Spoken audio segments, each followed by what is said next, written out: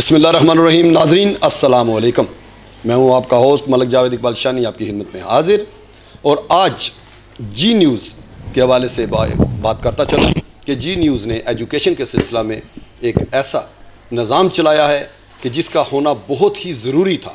وہ کیا ہے کہ آج جی نیوز ایجوکیشن کے جتنے بھی ادارے ہیں، ان کو اپنا میڈیا پارٹنر بنانے کے لیے تیار ہے اور ہر جگہ پہ میڈیا جو خاموش ہے ایجوکیشن کے سلسلے میں، لیکن جی نیوز نے ایک ایسا قدم اٹھایا ہے کہ ایجوکیشن کو ساتھ لے کر وہ شانہ بشانہ کھڑے ہوں گے اور ان کی کوریج کو آسان کریں گے۔ اور آج بھی اس موضوع پہ ہماری گفتگو ہے کہ نظام تعلیم جو ہے، اس وقت کس حد تک اپ ہے، یا پھر ڈون جا رہا ہے، یا پھر اس کو ڈون کرنے میں کون کون سی پرسنالٹیز کا ہاتھ ہے، کس کس ادارے کا ہاتھ ہے، یا پھر یہ ہم کہہ لیں کہ کیا حکومت اس کا ساتھ دے رہی ہے یا نہیں دے رہی۔ اگر دنیا میں کہیں چلے جائیں تو ہم صرف ہیلتھ اور ایجوکیشن پہ آ کے مار کھا جاتے ہیں۔ اور ایجوکیشن کا اپ ہونا بہت ضروری ہے۔ اور آج کی اس گفتگو کو ہم آگے لے کر چلتے ہیں۔ اور ہمارے ساتھ اس وقت موجود ہیں sitting M P A Muhammad Asif Bajwa صاحب۔ اور ان کے ساتھ تشریف فرما ہیں جناب خالد شہزاد صاحب۔ اور ان کے ساتھ تشریف فراہم فرما ہے جناب امان اللہ خان صاحب اور ان کے ساتھ خالد علی سپرا صاحب اور ساتھ ساتھ فتح صاحب اور تجزیہ نگار اینکر پرسن نوشین رفاقت صاحبہ اور ساتھ تشریف فرما ہیں محمد نوید ناگرہ ایڈوکیٹ صاحب جو کہ تجزیے کے لیے ہمارے ساتھ بیٹھے ہوئے ہیں۔ تو ناظرین، آج ہم نے دیکھنا یہ ہے کہ ہمارا تجزیہ نکلتا کیا ہے اور ہر پروگرام میں آپ دیکھیں گے کہ نظام تعلیم کے متعلق ہم اتنی گفتگو کریں گے کہ اس نظام کو درست کرنا پڑے گا۔ جی السلام علیکم سر۔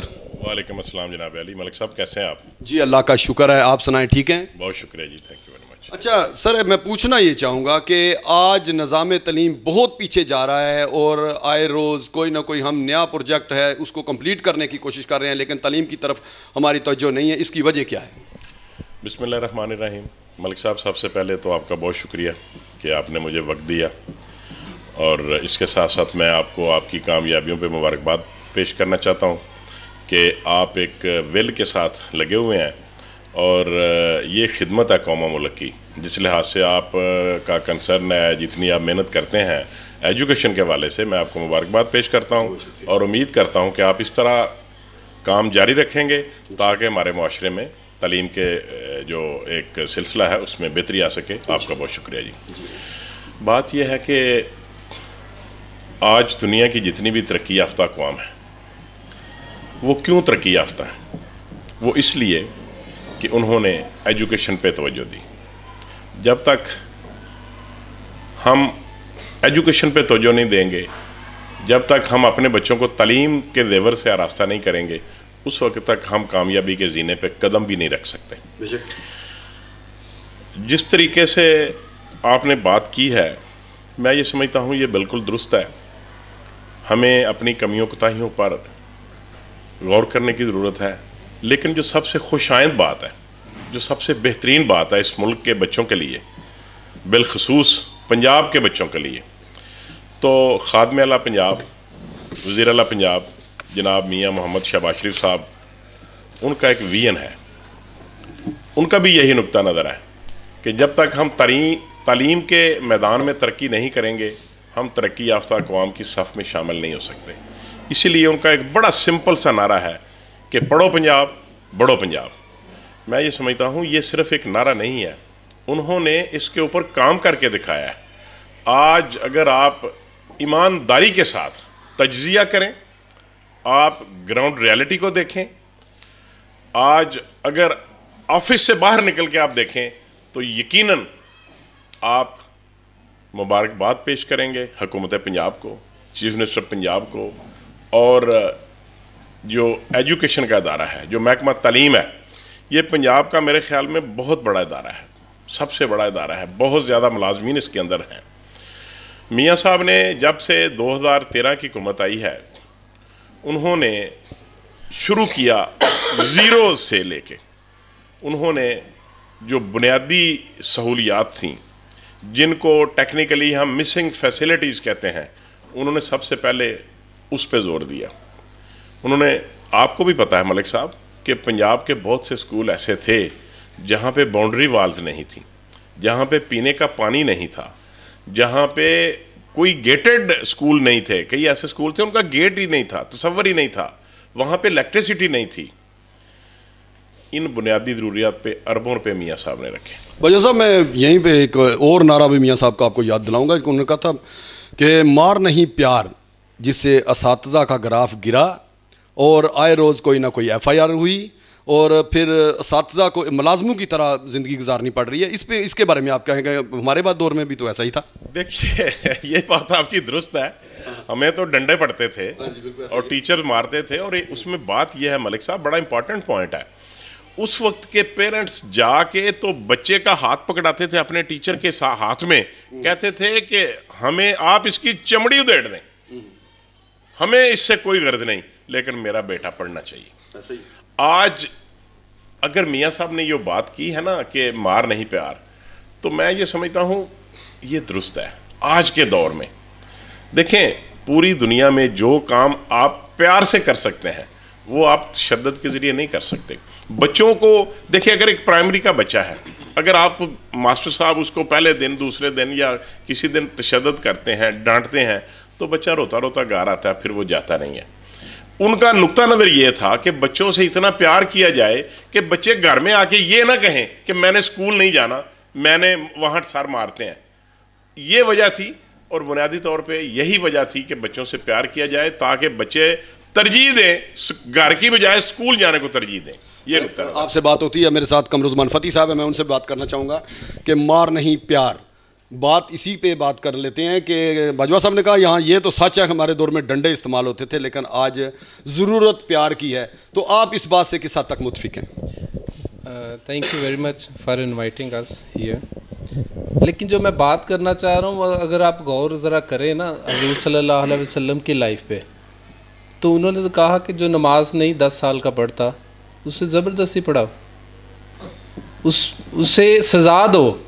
اس کا مطلب ہے جب ہم اللہ کو دیکھتے ہیں، ہم بینگ مسلم تو اللہ بھی سزا اور جزا کی بات کرتے ہیں۔ تو ہم سزا کو نکال سکتے ہی نہیں ہیں۔ مطلب یہ نہیں ہو سکتا ہاں یہ جو تشدد ہے، اس کے میں خود خلاف ہوں کہ تشدد نہیں ہونا چاہیے اور اللہ کے نبی صلی اللہ علیہ وسلم تو منع کرتے تھے اس چیز سے۔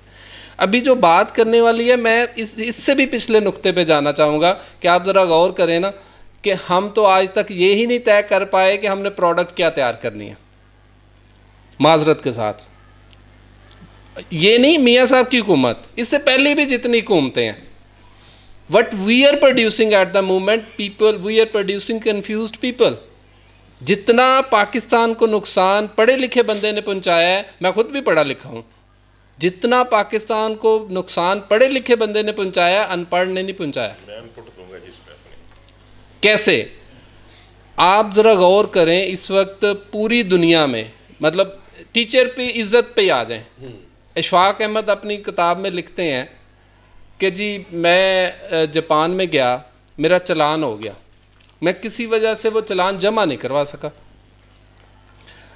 مجھے دوبارہ فائن کے ساتھ انہوں نے دوبارہ کال کی، میں عدالت میں گیا تو جا کے میں نے جج صاحب سے کہا کہ جی میں پاکستان میں پروفیسر ہوں۔ اور انہوں نے فوراً کھڑے ہو کے کہا a professor in the court a teacher in the court ساری عدالت کھڑی ہو گئی، جج کے ساتھ۔ ہم تو آج تک یہی نہیں طے کر پائے کہ ہم نے ٹیچر کو عزت دینی ہے کہ نہیں دینی۔ ہم تو آج تک یہی نہیں طے کر پائے کہ ہم نے بچے کو پروڈکٹ کیا بنانا ہے، بچے کو کس لیول تک لے کے جانا ہے۔ پہلے کوئی بھی کام شروع کریں، پہلے اینڈ سوچا جاتا ہے کہ یہ اینڈ بنائیں گے۔ مطلب میں ٹیبل بنانا چاہ رہا ہوں۔ تو اینڈ سوچا ہے میں نے پہلے کہ ٹیبل بنانا ہے۔ تو اب میں یہ پلر بھی بناتا جاؤں شیشہ بھی اوپر والا بناتا جاؤں تو وہ ٹیبل نہیں کبھی بھی بنے گا جب تک کہ میرا آبجیکٹیو ذہن میں یہ نہ ہو کہ میں نے ٹیبل بنانا ہے۔ جی شکریہ کمر صاحب میں شدہ صاحب آپ سے بات کرنا چاہوں خالد شدہ صاحب کہ آپ مجھے یہ بتائیے کہ پرائیویٹ اسکول کے آپ ہیڈ ہیں اور کس حد تک آپ سمجھتے ہیں کہ استاد کا احترام ہے ابھی بھی؟ اور اس نقطۂ نظر سے آپ مجھے بتائیے گا کہ کیا یہ مار پیار کا جو سلسلہ جاری ہے اس میں استاد کہاں تک کامیاب رہا ہے یا اسٹوڈنٹ کہاں تک کامیاب اصل میں جو وزیر اعلیٰ پنجاب شباز شریف صاحب نے یہ آج سے کچھ عرصہ پہلے یہ لوگوں لگوائے اسکولس کے اندر، چونکہ ہم بھی پڑھے ہوئے ہیں، کافی عرصہ ان اساتذہ سے پڑھے ہیں جنہوں نے اپنا شیوا بنایا ہے مار کو۔ لیکن بڑا فائدہ ہوا، اس سے نقصان تو نہیں ہوا۔ البتہ ایز اے آنر میں بات کروں گا کہ اس وقت جو تعلیمی مسئلہ چل رہا ہے ہمارا، والدین جس طرح ہم بچوں پر تھوڑی سی پنش کے حوالے سے بھی بات کریں تو والدین اس بات پر ایگری نہیں ہوتے۔ کیونکہ اولاد ہوتی ہے، اولاد کی تھوڑی سی تکلیف والدین کو تکلیف محسوس ہوتی ہے اور وہ دل پر لگتی ہے۔ حالانکہ ہونا ایسا نہیں چاہیے۔ جب دیکھیں ہمارے جسم میں ایک چھوٹی سی بیماری پیدا ہوتی ہے تو ٹیکا لگتا ہے یا اور بھی کاٹا لگتے ہیں، لیکن فائدہ تو جسم کو ہی ہوتا ہے نا۔ اگر ہم طلباء کے ساتھ تھوڑی سی بھی سختی کریں کسی بھی حوالے سے، اس کا ہنڈریڈ پرسینٹ فائدہ بچے کو ہوتا ہے۔ لیکن ٹیچر کی تو بچے کے ساتھ کسی قسم کی مخالفت نہیں ہوتی۔ نہ وہ ان کے ساتھ ذاتی اناد رکھتے ہیں۔ یہ صرف اور صرف فائدہ اسٹوڈنٹ کے لیے ہے۔ تاکہ وہ خوف بھی کھائے، تھوڑا بہت اس کے اندر احترام بھی آئے۔ لیکن اس وقت جو کنڈیشن چل رہی ہے طلباء کی کہ وہ اساتذہ کا احترام بھولتے جا رہے ہیں اور وقت کے ساتھ اور یہ بڑی غلط بات ہے۔ ٹھیک ہو گیا۔ میں مانولا صاحب آپ سے پوچھنا چاہوں گا اسی بات کو آگے لے کر چلتے ہیں ہم کہ خالد شدہ صاحب کا تو موقف سامنے آ گیا اور قمر عثمان فتح صاحب کا بھی سامنے آیا۔ یہی آیا ہے کہ اس وقت اسٹوڈنٹ بگڑتے جا رہے ہیں اور استاد کا احترام گرتا جا رہا ہے۔ آپ کیا کہتے ہیں اس کے بارے میرا خیال ہے کہ جو جس طریقے سے ہماری کلچر میں ہمارے سوشل نام بدلے ہیں ان کے اندر بچوں پر سختی اور پنشمنٹ بالکل نہیں ہونی چاہیے۔ اگر وزیر اعلیٰ صاحب نے یہ مار نہیں پیار کا کنسیپٹ دیا ہے تو انہوں نے اس کے ساتھ ایک پورا سسٹم بھی دیا ہے کہ کس طریقے سے ہم اپنے اداروں کو چائلڈ فرینڈلی بنائیں گے۔ اور پھر اس پر انہوں نے ایک میکانزم دیا کہ ٹیچرز کے مائنڈ کو سلیبس کو انہوں نے اس طریقے سے مولڈ کیا کہ بچہ اسکول کے اندر آ کر، اداروں میں آ کر خوشی محسوس کرے۔ اور اس میں بہت حد تک کامیابی بھی ہوئی ہے۔ میرا نہیں خیال کہ اب کوئی مار سے پڑے گا۔ اب تو موٹیویشن ہونی چاہیے اور ایسی ترغیب ہونی چاہیے اور ٹیچرز کے پاس ایسے ٹیکٹس ہونے چاہیے کہ وہ بچہ اس سے اٹریکشن محسوس کرے۔ ویسے ویسے میرے ساتھ باجوہ صاحب بیٹھے ہوئے ہیں اور ایڈوکیٹ بھی ہیں وہ ساتھ ساتھ۔ تو پھر ہر اسکول کے لیے ایک ایڈوکیٹ بھی رکھے نا ساتھ کے جو ایف آئی آر کے بعد وہ ایف آئی آر ختم کروائے اور جا کے کیس لڑے جا کے عدالت میں۔ میں یہ یہاں تک اداروں میں ہے۔ انشاءاللہ جس طریقے سے سی ایم صاحب نے انڈکشن ٹریننگ کا سٹیپ لیا ہے اس کے اندر اس کو شامل کیا ہے کہ ٹیچرز کے اندر ایسی سکل ہونی چاہیے۔ وہ پرانا زمانہ چلا گیا۔ وہ جنگل کا زمانہ تھا جب ڈنڈے سے لوگ پڑھتے تھے۔ اب تو پیار ہے۔ اب تو ایک معیار ہے اور ایک ترغیب ہے اور جتنا آپ پیار دیں گے، اتنا آؤٹ پٹ لیں گے۔ اور جتنا آپ بچے کو ایٹیکیٹس سکھائیں گے رکھیں گے اس کو ماحول کے اندر، وہ ادب سکھائیں گے، وہ سیکھے گا۔ اور سیکھ رہا ہے۔ بہت کم کیسز ہیں۔ یہ تو کسی جگہ بھی ہو جاتا ہے کہ کہیں کسی ٹیچر نے مارا ہے۔ میرا خیال ہے کہ جو مارتا ہے، اس کے اندر خود خامی ہوتی ہے۔ اور یہ بہت اچھا سٹیپ ہے۔ یونیورسلی اگر ہم دیکھیں کسی بھی ملک میں اس طرح کی پنشمنٹ نہیں ہے۔ ہم اسلامک پوائنٹ آف ویو سے قمر صاحب نے بات کی۔ تو وہ سرکار مدینہ کے پاس ہی رہنے والے تھے۔ حضرت انس فرماتے ہیں کہ میں نے اتنی غلطیاں کی، مجھے آج تک کوئی جھٹکی نہیں ملی۔ یہ پیار ہی تھا۔ کہ جس کی وجہ سے لوگ آپ کی طرف متوجہ ہوئے تو ہم انبیاء کے وارث ہیں اور یہ اس چیز کو ہمیں اڈاپٹ کرنا ہوگا۔ وہ پرانا جو ہمارا برسگین میں ڈنڈے اور جنگوں کا سما تھا جی۔ اور وہ اسکولوں میں آ گیا اس کو ختم کرنا ہوگا۔ یعنی پیار ہونا چاہیے۔ پیار مسٹ ہے اور مار زیرو ہے۔ جی علی صبرہ صاحب میں آپ سے بات کروں گا کہ آپ اس کے بارے میں کیا موقع پیش کرتے ہیں اپنا۔ استاد کو کہ جب ہم سلیکشن کرتے ہیں گورنمنٹ نے ایک کرائٹیریا رکھا ہوا ہے کہ اس کی اتنی تعلیم ہو، اس کے بعد اس کی ہائڈنگ ہوتی ہے، اس کی آگے سے ٹریننگ ہوتی ہے ٹریننگ کے بعد اس کو اسکولوں میں بھیجا جاتا ہے۔ جب آپ نے استاد کا ایک کرائٹیریا بنا لیا، وہ اس کے اندر پراپر پاس آؤٹ ہو گیا کلاسز میں چلا گیا، تو پھر باہر بورڈ لگا دیا، پیار نہیں مار۔ میں سمجھتا ہوں یہ استاد کی عزت کے خلاف ہے۔ یہ استاد کی بے حرمتی ہے، کیونکہ استاد کو والدین کا بچوں کا روحانی والدین کہا گیا ہے، ٹھیک ہے؟ تو وزیر وزیر اعلیٰ پنجاب سے میں یہ ریکویسٹ کرتا ہوں، آپ مار نہیں، پیار کے کے اوپر زور دینے کے بجائے اپنے سسٹم کو بہتر کریں۔ اگر کوئی ایسا تشدد کیا جاتا ہے بچوں پہ، اس پہ سخت ایکشن لیں، تاکہ اس کو دیکھ کے دوسرے استاد ایسا کام نہ کریں۔ باقی رہی بات مار کی، کوئی بھی استاد مارتا نہیں۔ میں ایک ہی ریکویسٹ کرتا ہوں کہ مار نہیں پیار کی بجائے سسٹم کو بہتر کیا جائے۔ ناگرا صاحب آپ سے بات کروں گا۔ آپ اپنے تجزیے میں کیا کہتے ہیں کہ اس وقت آپ نے باجوہ صاحب کی بات سنی دوسرے ساتھیوں کی بات سنی تو آپ اس کے بارے میں کیا کہتے ہیں؟ دیکھیں جی جب ہم قانون کو سٹڈی کرتے ہیں کسی بھی معاشرے کے قانون کو تو یہ چیز نظر آتی ہے کہ نہ تو سمپلی تشدد سے کسی میٹر کو ڈیزالو کیا جا سکا اور نہ ہی سمپل پیار سے بلکہ ہمیں یہ بھی نظر آتا ہے کہ جس دور میں برطانیہ میں جیب قطروں کے لیے سزائے موت تھی اور سر عام سزائے موت تھی۔ تو جس مجمع میں کسی بھی جیب قطرے کو سزائے موت دی جاتی تھی، تو اسی مجمع میں دوبارہ لوگوں کی جیبیں کاٹی جاتی تھی بات ہوتی ہے کسی بھی سسٹم کو جب ہم نے موو کرنا ہے یا چلانا ہے، تو لمیٹیشنز کی۔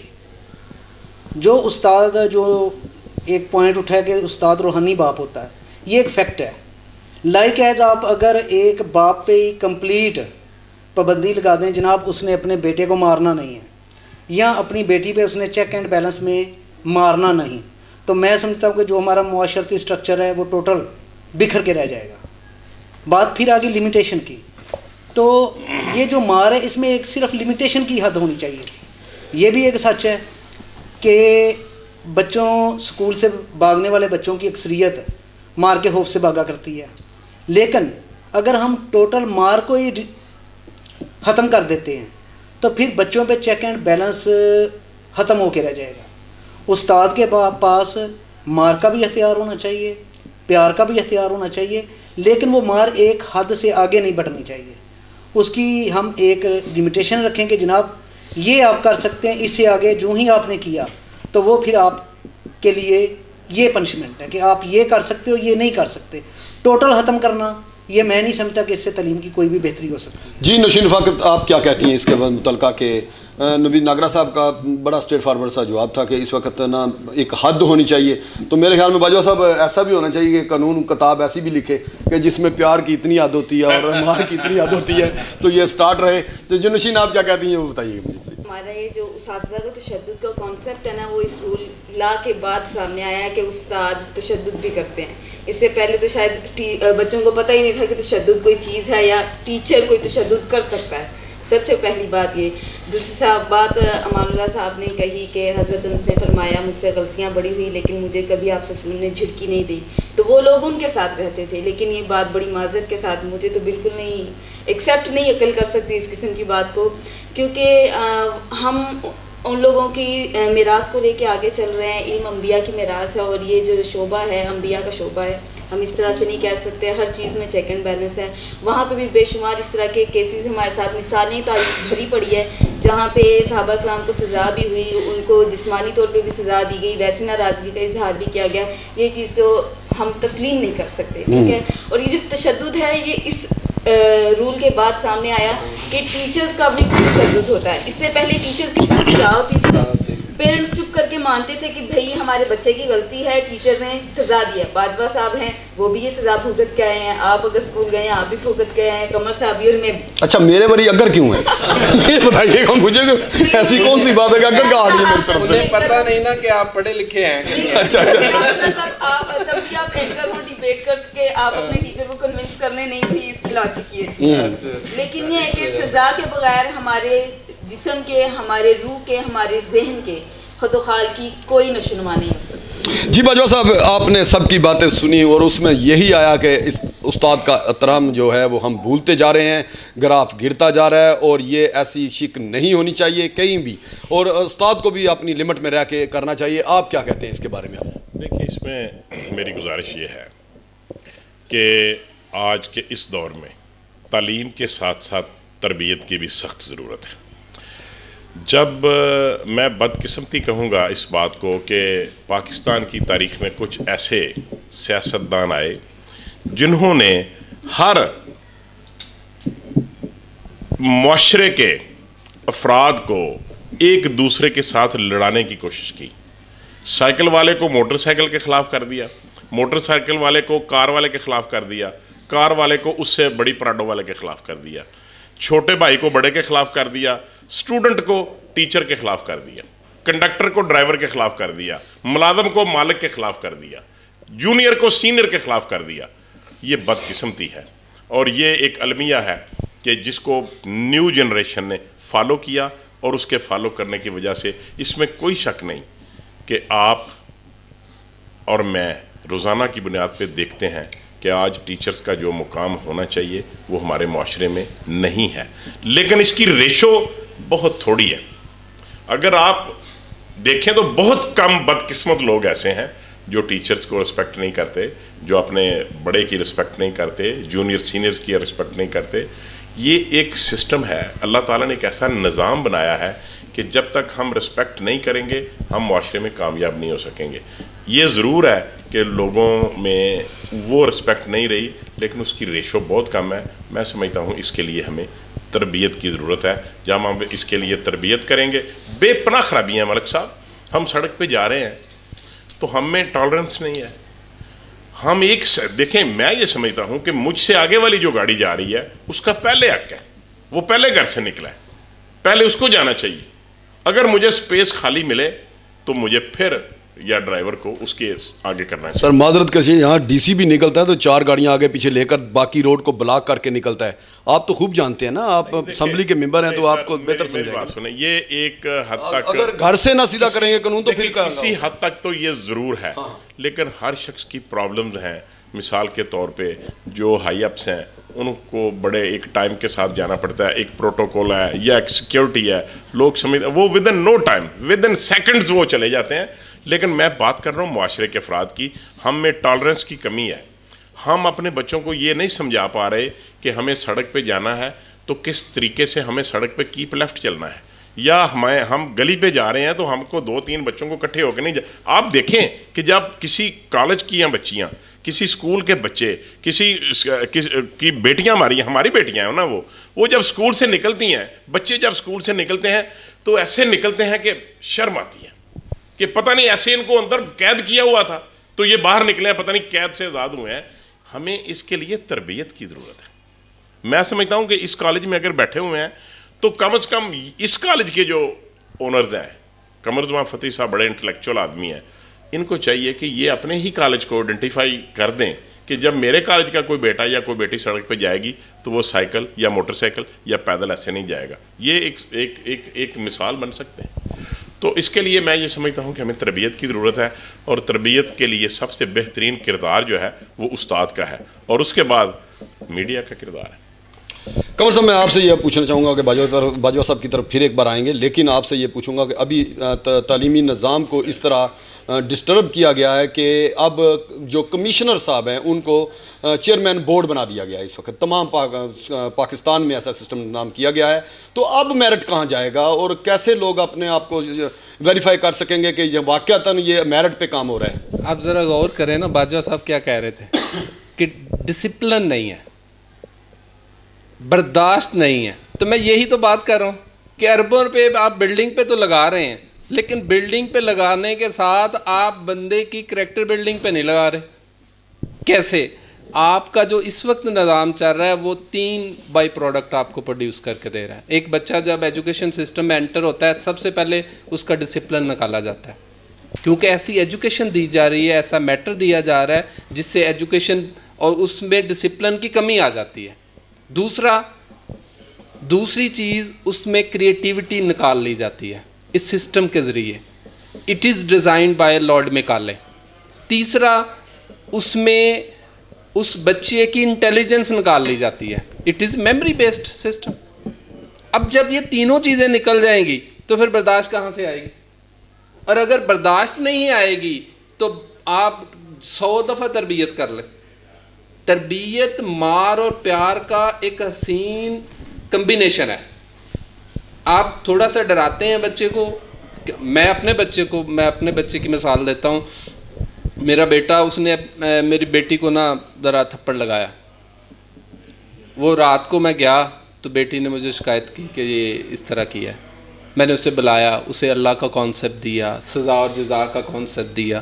اگلے دن پھر اس نے دو چار دن بعد بھول گیا اسے، اس نے پھر ایسے کیا۔ پھر میں نے اسے کانسیپٹ دیا۔ تو چوتھی دفعہ مجھے کہتا ہے، بابا یہ ہر وقت آپ اللہ سے ڈراتے رہتے ہیں۔ تو میں نے کہا اچھا بتاؤ، کس سے ڈرنا چاہیے؟ وہ کہتا جی اپنے سے بڑے سے۔ تو میں نے کہا، بڑا کون ہے؟ میں کس سے ڈرتا ہوں؟ کہتی ہے اپنے ماما بابا سے۔ تو میں، ماما بابا کس سے ڈرتے ہیں؟ کہتے ہیں، وہ نہیں پتہ میں نے کہا، بیٹے، سب سے بڑا اللہ ہے۔ تو ڈر جب تک انسان اس ذات سے نہ ڈرے جس جس ذات نے آپ کو پیدا کیا ہے اور اس ذات کے قانون اگر اپلائی نہ کرے اپنی زندگی میں تو پھر ہر طرف یہی ہوتا ہے جو آج ہمارے پاکستان پہ کمر صاحب میں پوچھنا یہ چاہ رہا تھا کہ کمشنر صاحب کو اب ہیڈ بنا دیا گیا ہے بورڈ کا اور چیئرمین بورڈ کمشنر صاحب ہوں گے کہیں بھی آپ پنجاب میں چلے جائیں گے تو مجھے یہ بتائیے گا کہ اب میرٹ کہاں جائے گا؟ کیا وہ یہی یہی کنفیوژن کی تو میں بات کر رہا ہوں۔ کہ ہر بندہ لارڈ مکالے کے نظام میں جس جس نے پڑھا ہے، وہ کنفیوز بھی ہے اور کلرک کی طرح سوچتا ہے۔ انہیں تو اس سے غرض نہیں کہ ایجوکیشن پروموٹ ہو رہی ہے۔ انہیں تو غرض ہے ہاں گجرا والا بورڈ سے کتنے پیسے آئے ہیں۔ انہیں تو غرض ہے کہ ہماری انکم پرائیویٹ اسکول سے لاکھ روپے فیس کر دیں اس کی جی فیلیشن نہیں، اگلی دفعہ اس طرح کریں، ڈیڑھ لاکھ کر دیں۔ اچھا جی انہیں فائن کر دیں۔ مطلب اس کے علاوہ تو یعنی کہ زمانے کے پہلے لوگ ستائے ہوئے ہیں کہ پہلے بھی ایسے ہو رہا ہے کہ پھر کمشنر صاحب آ گئے تو پھر کیا ہوگا؟ ہوتا رہے گا۔ خالد صاحب میں آپ سے پوچھنا چاہوں گا آپ کیا اس کے بارے میں کیا کہتے ہیں کہ اب اوپر کمشنر صاحب بٹھا دیے گئے ہیں چیئرمین کے طور پہ۔ اور وزیر اعلیٰ صاحب کا یہ بھی بڑا اچھا اقدام ہے کہ اب ایک ایسے بندے کے ہاتھ میں تعلیم دے دی گئی ہے کہ جو پہلے آلریڈی کسی کو سلیوٹ کرنے والا ہے۔ تو اب میرٹ ہوگا یا نہیں ہوگا؟ میرا خیال ہے کہ اس سے بہت زیادہ بہتری آئے گی۔ کیونکہ انتظامیہ میں اور جو ایجوکیشن کا ڈھانچہ ہے، اس کے درمیان اتنا گیپ بڑھتا جا رہا تھا۔ اور یہ تاثر تھا کہ بورڈ جیسے بالکل اٹانومس ہیں اور وہ ایک سمت میں چل رہے ہیں۔ اور کچھ مخصوص لوگ ہیں جو اس کو چلا رہے ہیں۔ اور کچھ ایسی انتظامی ریکوائرمنٹس تھیں جو امتحانات کو منعقد کرنے کے لیے ضروری تھیں۔ اور بورڈ اس میں بے بس دکھائی دے رہا تھا۔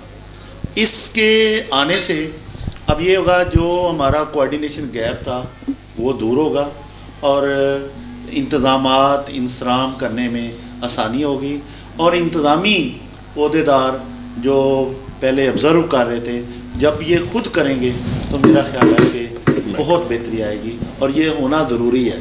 جو لوکل جس طرح ہمارے ہاں ڈسٹرک میں ایجوکیشن کا جو ہیڈ ہے، ہمارے ڈی سی صاحب ہیں اور اسی طرح کمشنر صاحب اگر بورڈ پر کوئی اختیار ہی نہیں رکھتے تو پھر کس طریقے سے یہ سسٹم بہتر ہوگا؟ کس طریقے سے وہ خان صاحب خان صاحب آپ کو شاید علم نہیں ہے کہ وہ آلریڈی بزی ہیں پورا ڈویژن ان کے پاس ہے چھ ڈسٹرکٹ ہیں اور اس کے علاوہ M N A M P A جا, جا بعد میں جاتے ہیں سلوٹ ان کا پہلے ہے۔ تو یہ میرٹ کہاں سے رہے گا؟ میں میرٹ پوچھنا چاہ رہا ہوں میرٹ کہاں سے آئے گا؟ میرٹ کا جہاں تک آپ بات کر رہے ہیں اس کا ایک سسٹم ہے۔ کسی ایک بندے کے ہاتھ میں نہیں ہوتا کسی ایک فرد میں نہیں ہے۔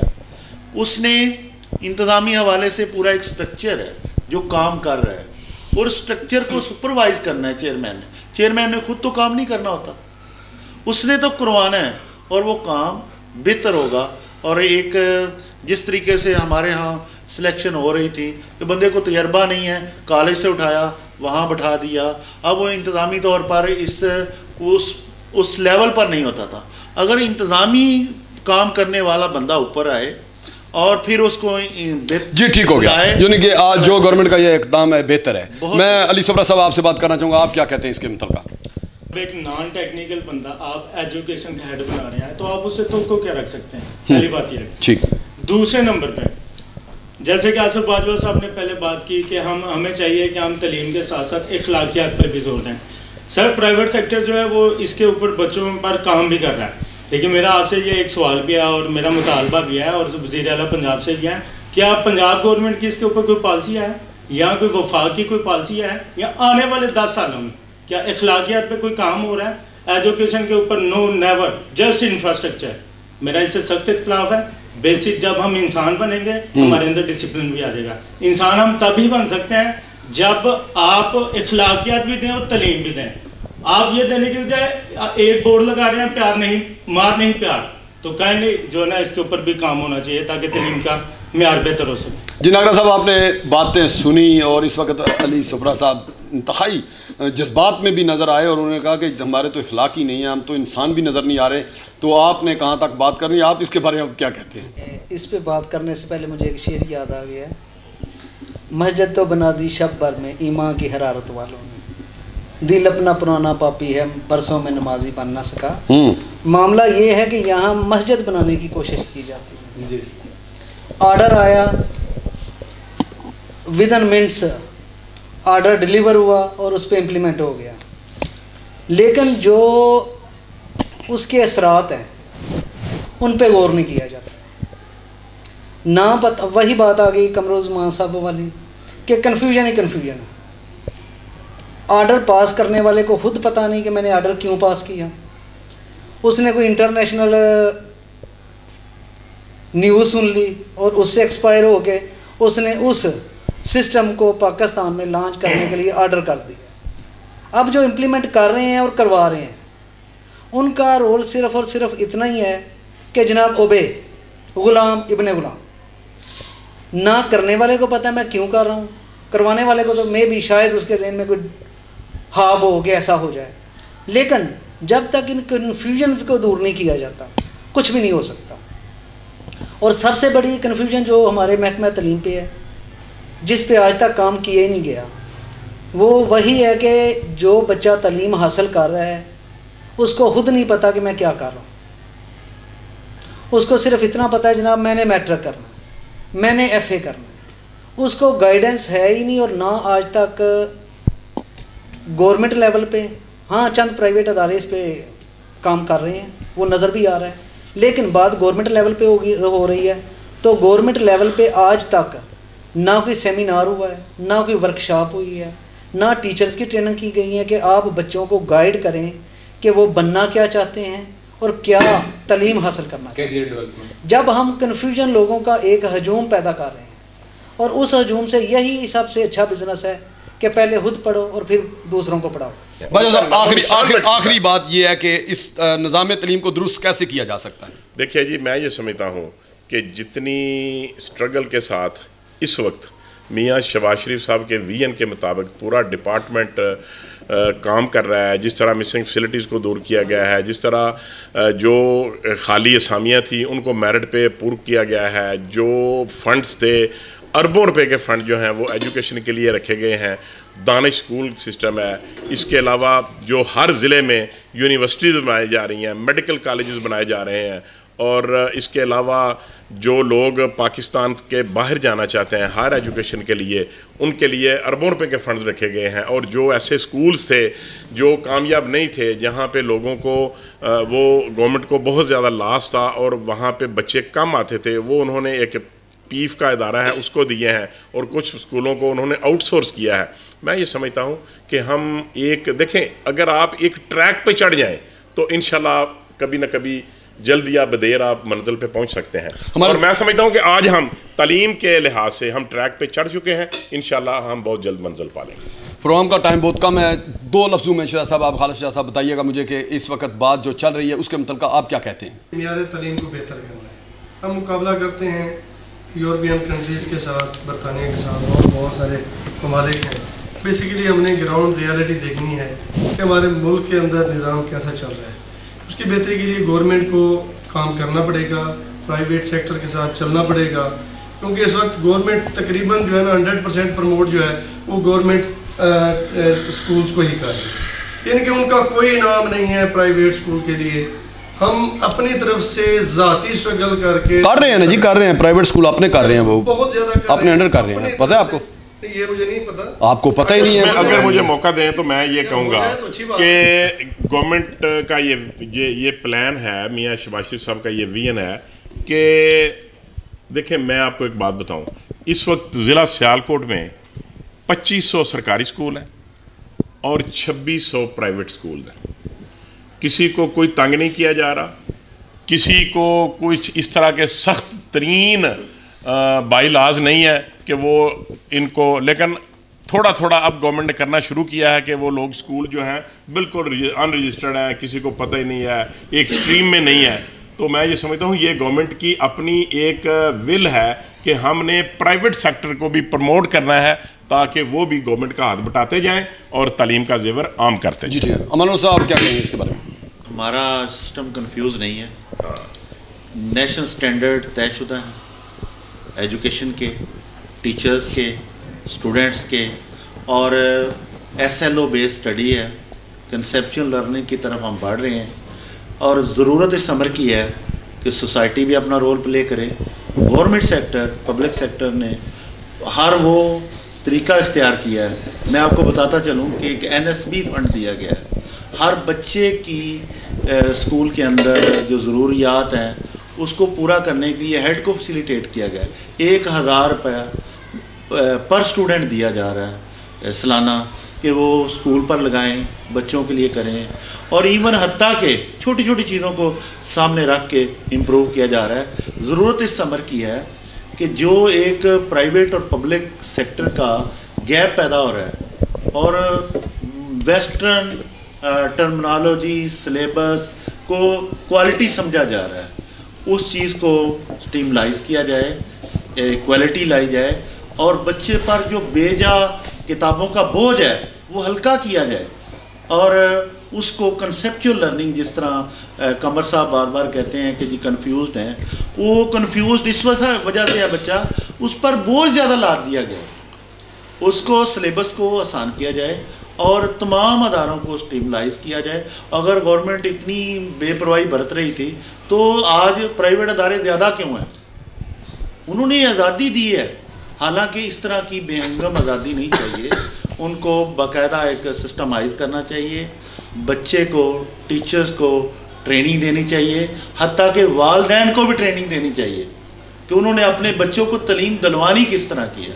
اگر ادارہ اپنا رول پلے کر رہا ہے تو اس کے پاس تو لمیٹڈ ٹائم میں بچہ ہوگا۔ والدین کو بھی اپنا رول پلے کرنا چاہیے۔ اور جہاں پر بڑے اچھے ادارے ہیں کہیں وہ والدین کی بھی ٹریننگ کا بندوبست کر رہے ہیں۔ جی بہت شکریہ مولانا صاحب۔ علی صبرا صاحب میں آپ سے بات کرنا چاہوں گا۔ آپ اس کے بارے میں کیا کہتے ہیں؟ گورنمنٹ سیکٹر ڈومیننٹ ہے۔ ٹائم پورا ہے اس وقت ہمارے پاس پروگرام کا بھی تو میں چاہوں گا کہ ضرورت سمر کیا کہ والدین کو بھی یہ تربیت دی جائے اور میڈیا اس میں رول پلے کر سکتا ہے۔ بہت پیارا سٹیپ ہے جی ٹی وی کا کہ انہوں نے ایک سپانسر کے طور پر لیا ہے پارٹنر کے طور پر لیا ہے۔ انشاءاللہ یہ مسائل جو گیپ کی صورت میں ہیں پرائیویٹ گورنمنٹ اور والدین جی بہت شکریہ۔ بہت شکریہ۔ جی علی صاحب صاحب۔ سر میں پرائیویٹ سیکٹر کی بات کروں گا اس کے بعد پھر میں گورنمنٹ سیکٹر پہ آؤں گا۔ مختصر مختصر کریں گے کیونکہ پروگرام کا ٹائم بہت کم ہے۔ پرائیویٹ سیکٹر دن رات انتھک محنت کرنے کے باوجود گورنمنٹ کی عدم توجہ سے محروم ہیں۔ جبکہ پرائیویٹ سیکٹر کے اگر کوئی جب سینٹر میں دیکھا جائے پرائیویٹ سیکٹر کے چار ایک بچے کے چار سو نمبر آ رہے ہیں اور گورنمنٹ سیکٹر کے ایک بچے کو چار, کے چار سو نمبر آ رہے ہیں۔ گورنمنٹ سیکٹر کے بچے کو کیا اسکالرشپ مل گیا؟ پرائیویٹ سیکٹر کے بچے کو پوچھا ہی نہیں کیا مقصد بات کرنے کا یہ ہے کہ اس کے اوپر دوہرا معیار نہیں ہونا چاہیے ایکویلٹی ہونی چاہیے۔ کیونکہ پاکستان کی تعلیم کے میدان میں شرح خواندگی پرائیویٹ سیکٹر زیادہ مدد کر رہا ہے گورنمنٹ کی۔ تو اس کے اوپر بھی مطلب ہمیں چاہیے کہ جیسے گورنمنٹ سیکٹر کے اوپر ایجوکیشن کے اوپر کام ہو رہا ہے یا ہماری گورنمنٹ جو ہے نا اس کے اوپر فنڈز لگا رہی ہے تھوڑا سا توجہ جو ہے نا پرائیویٹ سیکٹر کو نگرا صاحب مختصر انداز میں آپ کیا کہتے ہیں؟ کہ بات سے سب باتیں آپ نے سنی آپ کیا کہتے ہیں تو دو لفظی بات یہ ہے کہ ہر بیوی ایک اچھی معیشت دان ہوتی ہے ماہر معیشت ہوتی ہے۔ کیوں ہوتی ہے جناب؟ کہ اسے پتہ ہے کہ میرے پاس اتنا بجٹ ہے اور میں نے ادھر یوٹیلائز کرنا سی ایس پی آفیسر یا جسے ہم بیوروکریسی کہتے ہیں، وہ تو مقدس گائے ہیں کہ جن کو معطل کرنے کا اختیار بھی وزیر اعظم کے پاس نہیں۔ تو اگر ہم نے بیوروکریسی کے ذریعے ملک چلانا ہے، تو پھر باقی سب ادارے بند کر دیں۔ پھر تو نااہل ہے نا۔ اور سیکنڈ یہ کہ جس ملک میں جو وزیر تعلیم ہے، وہ بھی ہم ایک ان پڑھ شخص لگا سکتے ہیں۔ اور ملک الحمدللہ پھر بھی چل رہا ہے، پھل پھول رہا ہے۔ اور وہاں ہم ایک ٹیچر کو صرف اس وجہ سے محروم کر دیں۔ موجودہ نہیں ہماری تریح میں بے شمار ہے تریحی حقائق ہیں۔ یہ تریحی حقائق کہ بارہ ایسا ہوا اور نیکسٹ ٹائم ہو یا نہ ہو یہ نیکسٹ میٹر ہے۔ لیکن ایک ٹیچر کو محروم کرنا کہ وہ ہیڈ آف ڈپارٹمنٹ نہیں بن سکتا چونکہ جناب وہ مینجمنٹ نہیں جانتا تو اس کے لیے تو آسان سا حل ہے کہ اسے چھ ماہ کا ایک مینجمنٹ کورس کروا دیا جائے۔ جو ہی اس کی ہم اسے امپروو کرتے ہیں نیکسٹ گریڈ میں تو ساتھ ہم اس کی تربیت کرتے ہیں۔ ہاں، ٹھیک ٹھیک۔ ہم اس کو اسٹیپ بائی اسٹیپ اس کو اس لیول پہ لے ٹرینڈ کریں ٹرینڈ کریں نہ ہاں، کہ ہم اسے محروم کر کے ریس ہی باہر کر دیں کہ یہ لنگڑا گھوڑا ہے۔ بالکل صحیح۔ یہ عربی گھوڑا ہے یہ دیسی گھوڑا ہے۔ بہت شکریہ ناگرا صاحب آپ کا نوشین فقط آپ بھی مختصر انداز میں بتائیں گی کہ آپ کیا کہتے ہیں۔ کاؤنسلنگ کی ضرورت ہمارے ٹیچرز کے ساتھ ہمارے اسٹوڈنٹس کو بھی ہے اور پیرنٹس کو بھی ہے جس کے بغیر ہم لوگ کچھ بھی نہیں کر سکتے۔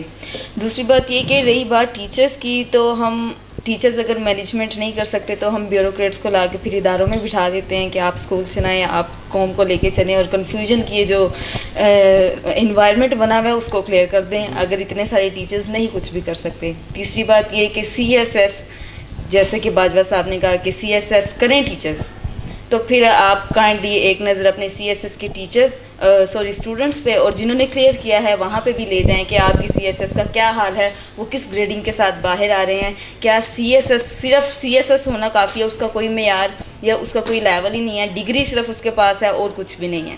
سی ایس ایس کی ہماری حالت جو ہو گئی ہے، وہ بھی نظر کے سامنے ہونی چاہیے کہ وہاں سے اسٹوڈنٹس کس طرح سے باہر آ رہے ہیں۔ اس کے بعد نیکسٹ کوئی بات ہو۔ دیکھیے، ہر جگہ پہ لیکیج ہوتی ہے اور بہتری کی گنجائش ہر ڈپارٹمنٹ میں ہے۔ میں یہ سمجھتا ہوں کہ ہمیں اپنے تمام اداروں پہ توجہ دینے کی ضرورت ہے اور ہمیں ہر ادارے کو اپنی اپنی لمیٹیشنس کے اندر رہ کے کام کرنا چاہیے۔ جب ہم ایک دوسرے کو انٹرفیئر کرتے ہیں تو پھر حالات خراب ہوتے ہیں اور پھر ہم ایک دوسرے کے ساتھ لڑائی جھگڑا اور جو ٹینشن کریٹ ہوتی ہے وہ نقصان دہ ہے۔